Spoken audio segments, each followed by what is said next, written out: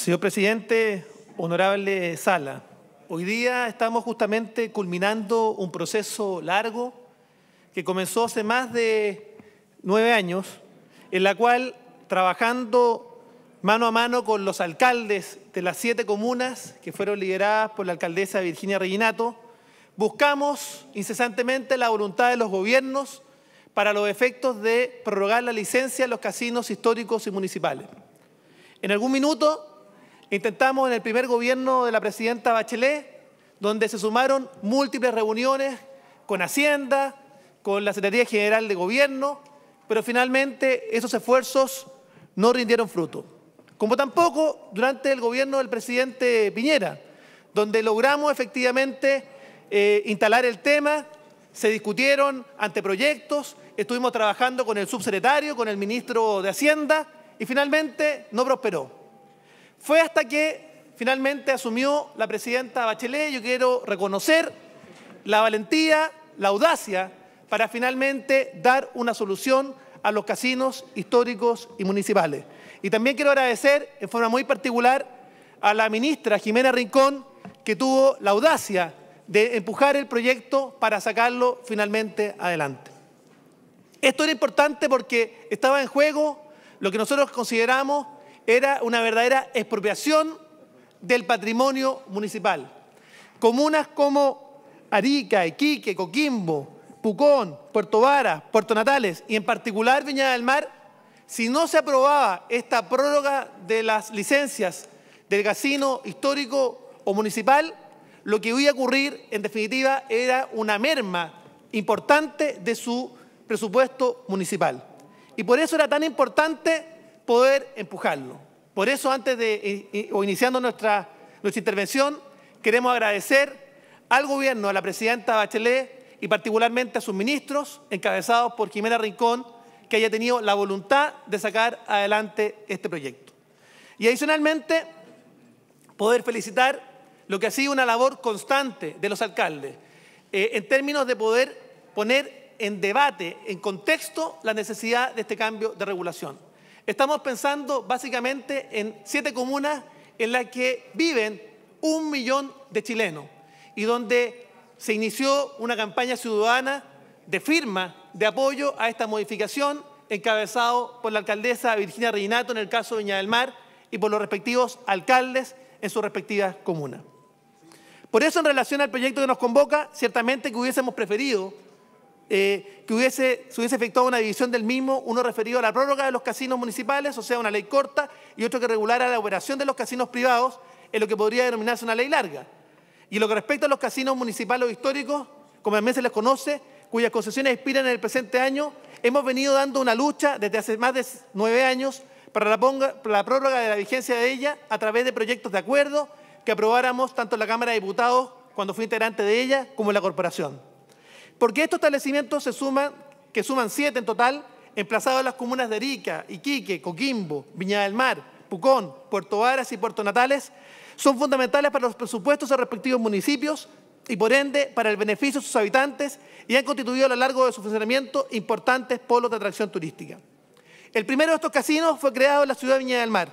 en el año 1928 en virtud de la ley 4283, publicada el 16 de febrero de ese año, que autorizó al presidente de la República de la época a contratar por cuenta de la Municipalidad de Viña del Mar un empréstito interno o externo para ejecutar y conservar las obras de mejoramiento de la comuna. En su artículo octavo, dicho texto legal autorizó a la entonces denominada Junta Pro Balneario de Viña del Mar para establecer un casino destinado a procurar pasatiempos y atracciones a los turistas, a cuyo respecto no regirán las normas del Código Penal que sancionan los juegos de azar. O sea, a la fecha,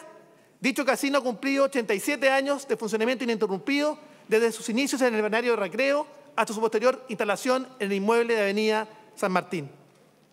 Años después, se fueron creando los casinos de las otras seis comunas que ya mencioné y que han constituido un aporte valiosísimo para sus respectivos municipios. Y en el caso de Uña del Mar, contribuye con un 43% de su presupuesto. Por dicha razón, es fundamental que se prorroguen sus concesiones por otros dos años, como lo contempla el proyecto, y posteriormente por periodos renovables de 15 años bajo las normas de la Ley 19.995, que actualmente regula la operación de casinos de juego.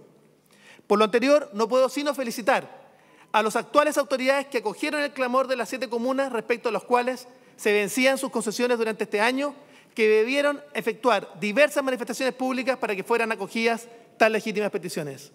Nos habría gustado que el mensaje legislativo hubiese acogido también una propuesta nuestra en el sentido de resguardar la fuente laboral de sus trabajadores, al menos un 80% de los mismos, ya que si bien se ha dejado constancia que tanto la jurisprudencia administrativa como la judicial han reconocido los derechos que les asisten a cesar sus contratos, no es menos cierto que las interpretaciones en dichas sedes pueden variar. En cambio, al establecerse la ley, se consagra de mejor forma sus derechos. Quiero agradecer a la ministra, nuevamente a la ministra Rincón,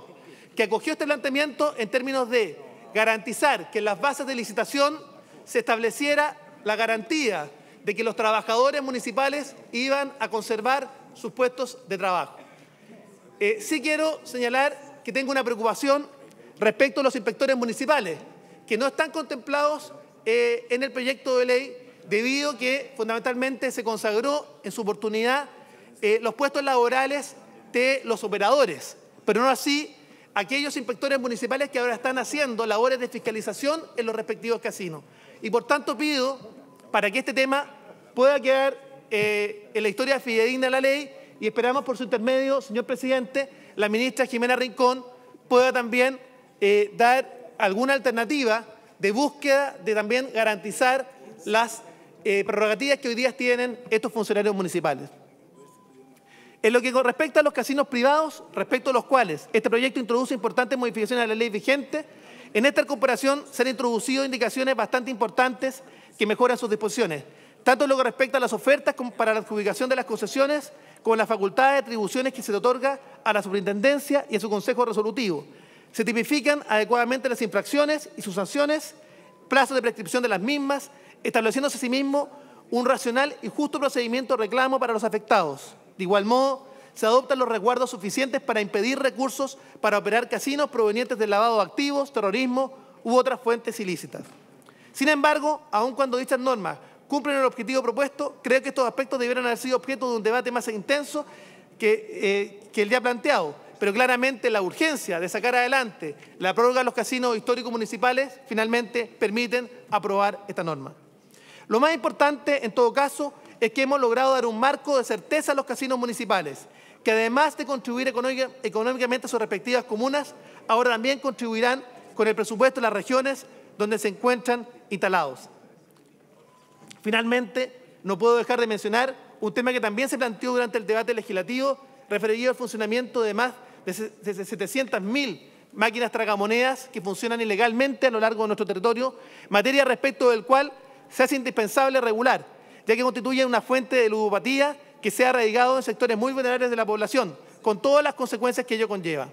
Se han efectuado varias propuestas para solucionar esta materia, entre otras la moción que presenté en el mes de agosto del año 2013, radicada en la Comisión de Economía, boletín 9068-06, mediante el cual se establece que todo solicitante de patente municipal para operar máquinas de estrés o entretenimiento deberá acompañar para tal efecto un certificado otorgado por laboratorios, laboratorios certificadores técnicos de máquinas de azar, en que conste que las máquinas que operará no son de azar. Lo que esperamos es cerrar estos casinos ilegales que están desbordando todas nuestras poblaciones y que en definitiva están empobreciendo a nuestra población. Y acá yo tengo una opinión particular. Creemos sin lugar a dudas que los casinos instalados ilegalmente en nuestras poblaciones deben efectivamente cerrar.